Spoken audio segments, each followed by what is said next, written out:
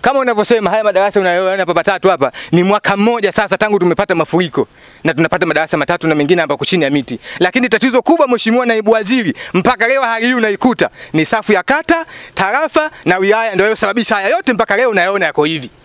Hawa watu hawa niliyokutajia, tangu tumepata mafuriko, wao hawatambui kama Njinjo ipo. Inavyoonekana huko TAMISEMI Njinjo mumeifuta na ndio maana mpaka leo hii sisi juhudi zote tunazoona madarasa haya matatu, Mheshimiwa Godfrey Zambi ndo anayejua Njinjo, sio mkuu wa wilaya akiwa Mheshimiwa Christopher Ngubiagai, sio mkurugenzi wa halmashauri akiwa Mheshimiwa Renatus Mchau, sio katibu tarafa wa Njinjo Mheshimiwa Mfaume Sudi Matongo, wala sio katibu tarafa mtendaji kata wa Njinjo Mheshimiwa Salumu Mkumbula. Wao hawaijui Njinjo, anasema Njinjo imekufa. Ndio haya yote tunayokuta Mheshimiwa naibu waziri. Leo Manzali umekuja wewe mwenyewe jio- jio- jionee hali tuliyokuwa nayo. Tangu mafuriko mpaka leo mwaka mmoja, wanafunzi wasoma chini ya miti na tuna madarasa matatu tu. Hivyo hizo zilizoingia juzi milioni sitini ngapi hizo, mwisimu kwa muda ulioingia pesa milioni sitini mbili laki tano tangia tarehe moja tarehe ishirini tano ya mwezi wa kwanza elfu mbili na ishirini kuingia mafuriko Njinjo, kupata madarasa matatu haya tuoni kama iko sawa, sisi kama tunaangaliwa. Ni muda mafuriko tumepata muda mrefu sana na ta, tarehe ishirini na tano ya mwezi wa kwanza elfu mbili na ishirini na hadi leo hii tukizungumza tarehe kumi na tano bila shaka kumbukumbu yangu sasa Mwaka 2021. huu ishirini na moja maana Mwaka mzima. mwaka mzima tumepata madarasa matatu tu na ofisi moja ya mwalimu. wote walikuja kujitolea. Zile tipu za mchanga unazoona wananchi hawa ndio walikwenda kule kuchota huo mchanga na kupandisha kwenye gari na kuleta pale, lakini akina lakini akina mama hao unaowaona ndio walikuwa hapo site tunapokusanya ma, mawe, wamekusanya maji mawe ya kutosha, na kesho tutaleta hapa site kwa nguvu za wananchi. Mimi sina la kusema zaidi ya kukwambia wananchi hawa wana upendo wa dhati na nawaipenda serikali yetu, lakini kubwa tu tuwaunge mkono kutatua changamoto zao. Jamani, milioni sitini na mbili hizo tulizopewa zimetoka kwa mheshimiwa waziri kwenye ofisi yake kule TAMISEMI. Kwa hiyo mjue tumepewa milioni sitini na mbili. Moja, wanafunzi wa madarasa ya awali la tatu, la tano na la sita bado wanasoma chini ya miti kutokana na uhaba wa vyumba vya madarasa. Mbili, upungufu wa nyumba upungufu wa walimu kumi ambayo inapelekea uwiano wa walimu kuwa mwalimu mmoja kwa wanafunzi mia moja na mbili.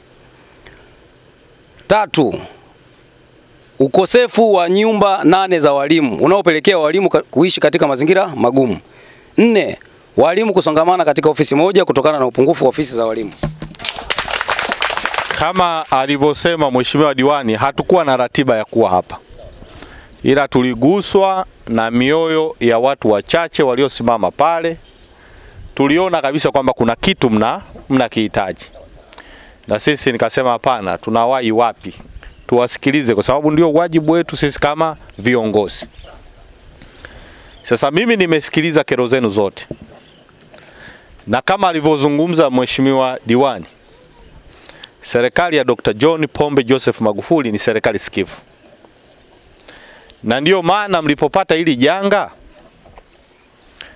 halmashauri ikatoa milioni 30, mmejenga madarasa matatu na ofisi. Ofisi ya Rais TAMISEMI imeleta milioni 62 kwenye eneo lenu ili mjenge hayo madarasa. Sijui kama umenielewa na mwenye jukumu la kusimamia hizo fedha ni mimi ambaye nimepewa hilo jukumu na mheshimiwa waziri wangu Mheshimiwa Suleiman Jafo. Sijui kama umenielewa.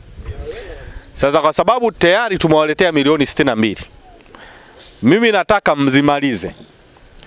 Mkishazimaliza kwa maana ya kujenga na kukamilisha hayo majengo, mnidai majengo mengine matatu mimi hapa. Kwa hiyo spidi yenu, spidi ya kwenu ndio itakayowafanya muongezewe madarasa mengine mangapi? Matatu. Na hilo nitalifanya mimi mwenyewe, liko ndani ya uwezo wangu. Na jinsi mnavyofanya, mmebeba me, me, me, mchanga mwingi, kina mama wamekusanya mawe huko kama mlivyonieleza. Naambiwa hili ndo darasa la tatu, sijui hili darasa la nne, nimeona, lakini najua mliharibikiwa muda mrefu, ndani ya mwaka mzima kwa kweli kwa madarasa kuchelewa, hata mimi sijafurahishwa. Sijui kama umenielewa, hata mimi sijafurahishwa. Kwa hiyo nikitoka hapa, napiga simu kwa mkuu wa wilaya, nitapiga simu kwa afisa elimu, nitawaambia waniandikie maelezo kwa nini wameshindwa kukamilisha madarasa watoto wa wakati. Kwa hiyo nitaifanya hivyo sasa hivi. Na nitahakikisha kabisa haya madarasa kama yalivyoahidiwa ndani ya miezi miwili yao yamekwisha na watoto wote hakuna kusoma chini tena. Sawa jamani?